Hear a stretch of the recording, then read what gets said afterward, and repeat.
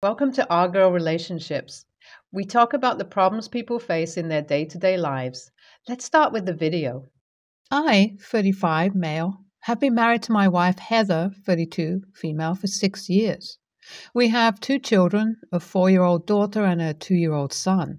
I work as a software engineer and make a decent salary, but Heather has been struggling to keep a job for more than a few months at a time. In the past few years, she has lost three jobs due to her poor attitude and behavior toward coworkers and customers. Each time she was fired, she blamed the company, her boss, or her colleagues for being unfair or incompetent. The most recent incident happened last month when she was fired from a retail job for yelling at a customer who complained about her service. According to her former employer, the customer was polite and patient, but Heather snapped at her and called her a bitch. The customer complained to the manager, who had to apologize and offer a discount to keep the business. The manager then reviewed the security footage and saw Heather's outburst, which was the final straw in a series of customer complaints and absences. The manager fired Heather on the spot and told her never to come back. When Heather came home and told me what had happened, I was not surprised, but I was disappointed and angry. I had warned her before about her behavior at work and how it could affect her career prospects, but she dismissed my concerns and said that people were too sensitive and demanding these days. I tried to be sympathetic and asked her what she planned to do next, but she said she didn't want to look for another job. She said she was tired of working for ungrateful bosses and customers who didn't appreciate her. She said she wants to focus on herself and her hobbies and maybe start a business or a blog someday. She said she didn't want to be a wage slave anymore and that I should support her dreams. At first, I thought she was being sarcastic, but she was dead serious. She said she was not going to apply for any jobs or attend any interviews and that I should cover all the household expenses from now on. She said she deserved it because she had been contributing to the family income for a while, even though her jobs were short lived and low paying. She said she wanted to be a stay at home wife and mother and that she would take care of the kids and the house if I paid her a monthly allowance of $3,000. I was stunned by her request and her tone. I told her that I couldn't afford to pay her that much, and that it was unfair for me to bear all the financial burden while she pursued her hobbies and whims. I told her that we had bills to pay, debts to clear, and savings to build, and that I needed her to help me with those responsibilities. I also reminded her that we had agreed to have children and raise them together, and that it was not fair for her to expect me to pay for her decision to avoid childcare and parenting duties. She had always been reluctant to spend time with the kids, citing her job as an excuse, and I had to take care of them most of the time. I had no problem doing that, but I didn't want her to take advantage of my generosity and neglect her duties as a wife and mother. She didn't like my response and accused me of being selfish, stingy, and controlling. She said I didn't appreciate her sacrifices and her talents, and that I was just using her as a tool to make money. She said I was a hypocrite for complaining about her spending habits when I had bought her an expensive engagement ring and allowed her to overspend on the wedding. She said she was entitled to her share of the money and the lifestyle we had built together, and that she would leave me if I didn't comply with her demands. My wife has always been a spendthrift. She loves shopping and going out to eat frequently, and she never thinks about the consequences of her actions. She's been known to max out credit cards and take out loans without telling me. Recently, another incident happened that added to my concern over Heather's spending habit. A few months ago, I discovered that she had sold her engagement ring without telling me. I had given her the ring as a symbol of our love and commitment, and it had sentimental value to me. When I asked her why she had sold it, she said she needed the money to buy a designer handbag that she had been eyeing for a while. I was shocked and disappointed. Not only had she sold something important to me, but she had also used the money to buy something unnecessary and frivolous. I asked her how she could justify such a decision, And she said that she deserved to treat herself once in a while and that the ring was just a piece of jewelry that didn't mean much to her. I was hurt by her callousness and lack of empathy. I felt like she didn't understand the value of things that were important to me and that she didn't care about our shared history and memories. I also felt like she was using our joint account as a piggy bank that she could dip into whenever she wanted, without regard for our financial goals and obligations. I confronted her about this incident as well, and she apologized half heartedly, saying that she had needed the money for an emergency and that she would buy me another ring someday. But I knew that it wasn't just about the ring, but about the trust and respect that she had broken by selling it without my consent.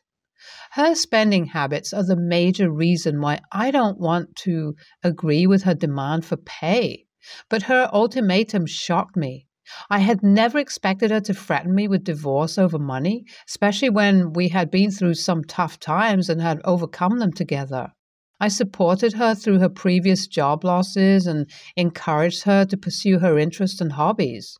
But I couldn't support her if she refused to contribute to our household and our family.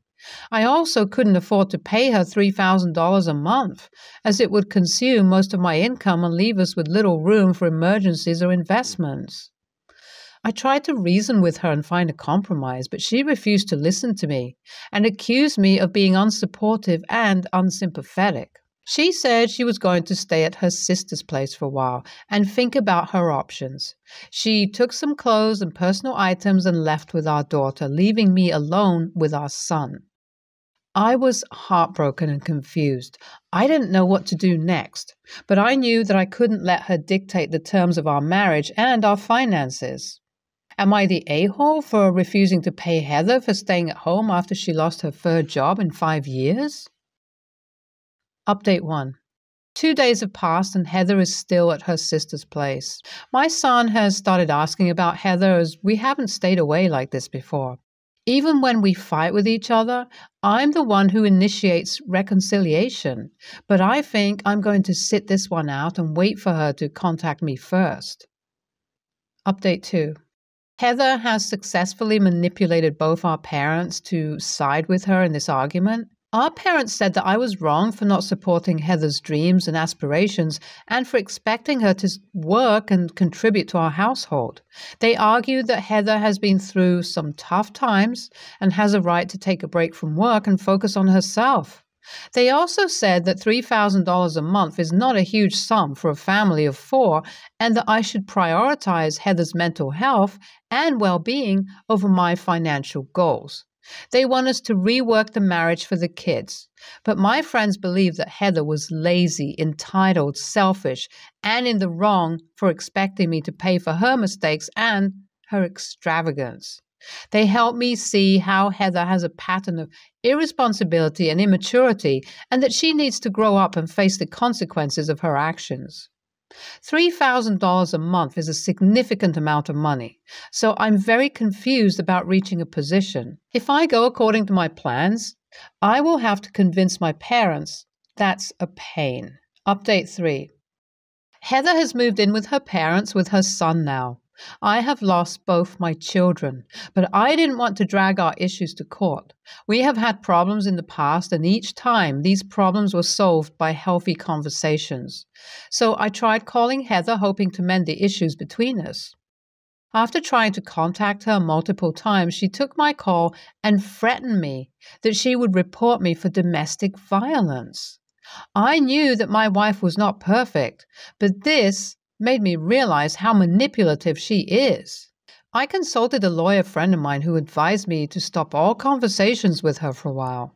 And if a conversation became necessary, he asked me to record it. Though it breaks my heart to accept it, I feel like my marriage is over. Reflecting on the past few years has made me realize how toxic Heather has been towards the children and me. I'm planning to file for divorce soon and will fight for custody of my children.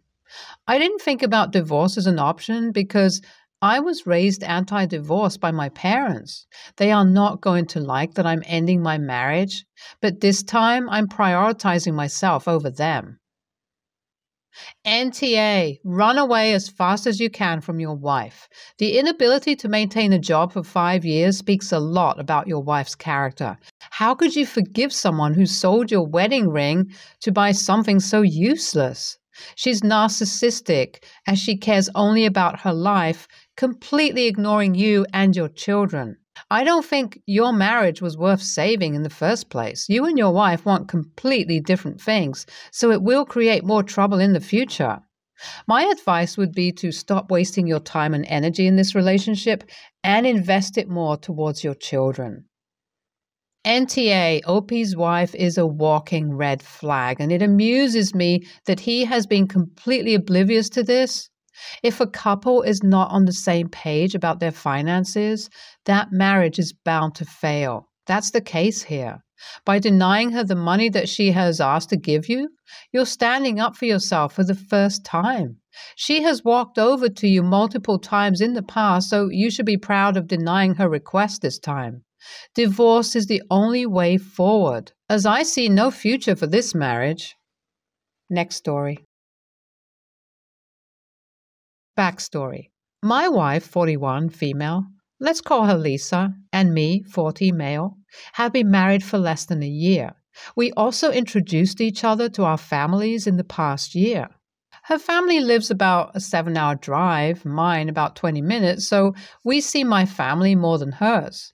This is already a point of contention, but not the point of this post. We figured we would alternate holidays, and for this year, my parents got Thanksgiving and hers got Christmas. Next year, we will flip that. But on to the story.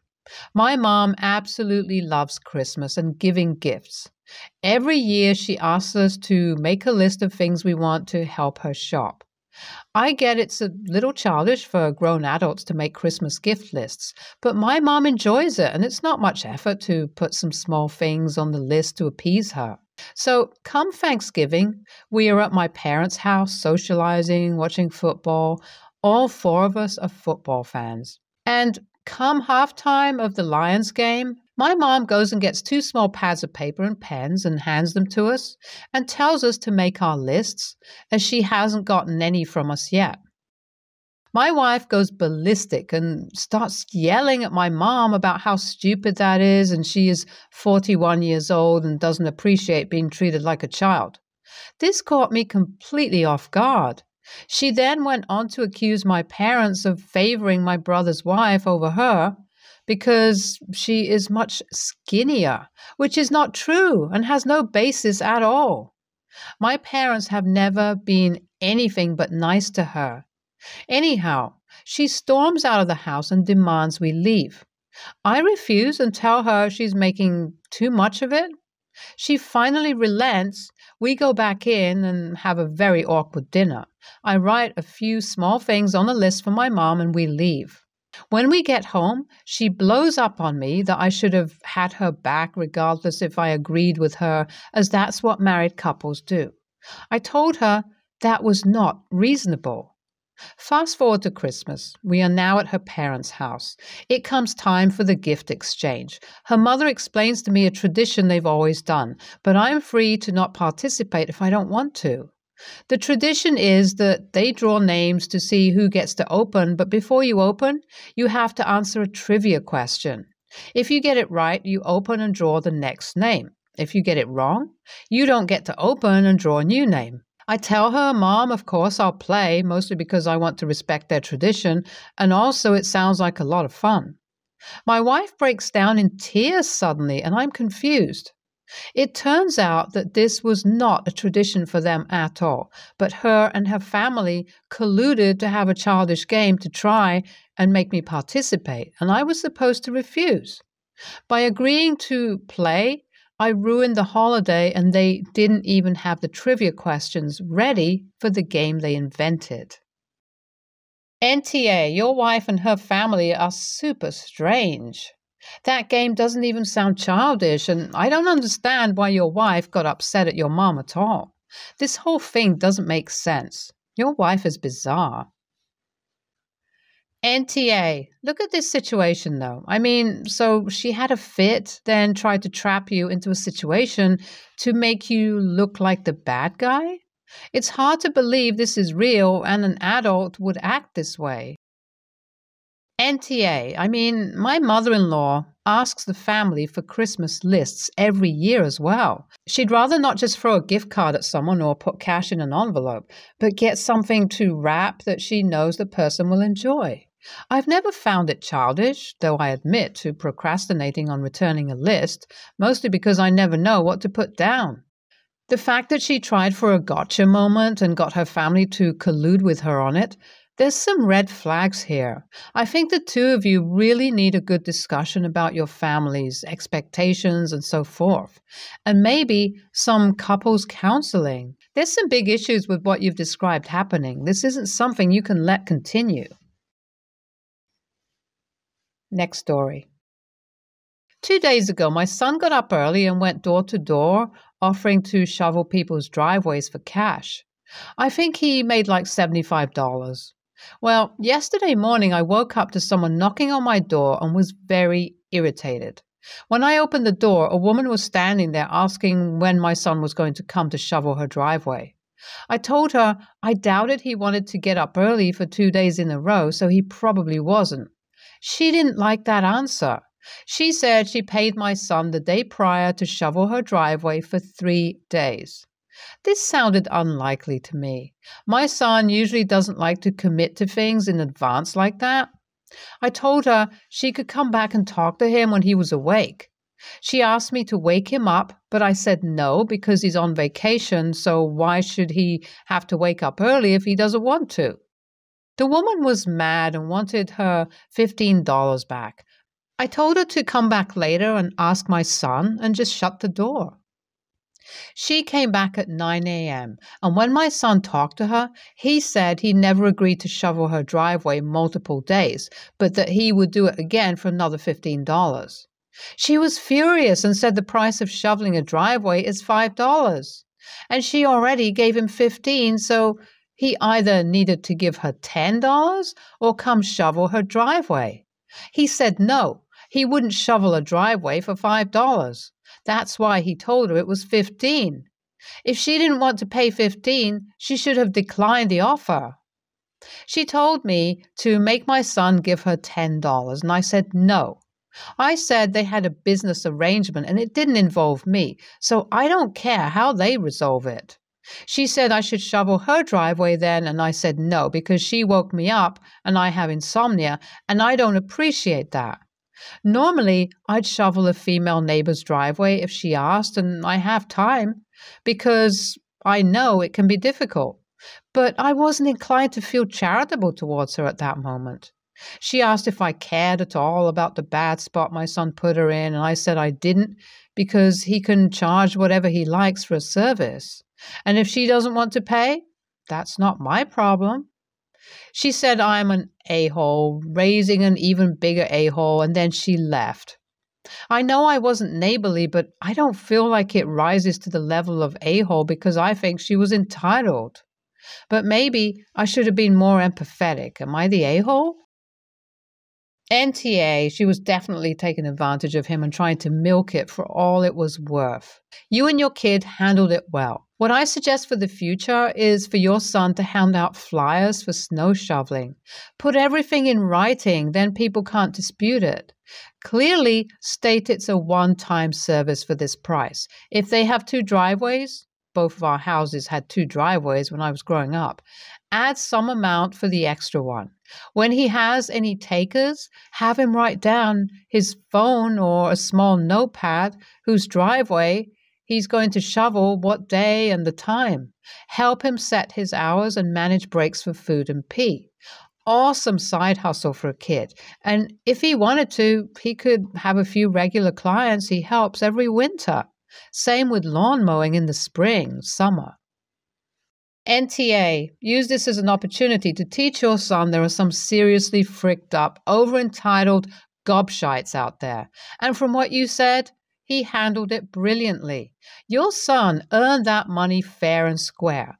I know exactly how he would feel having to give back $10. Back when I was around 11, 12, I did a deal with someone to sell oak trees. I'd grown loads of them. They were decent little trees. I was to get $2 a tree for each one sold. When it came to being paid, the bloke said, and one pound a tree is agreed. I was quick, but he was an a hole too, just like Snow Lady, and it really shook my confidence as to how someone could be so dishonest. Next time, hire a small truck to get your son to do snow clearing and removal.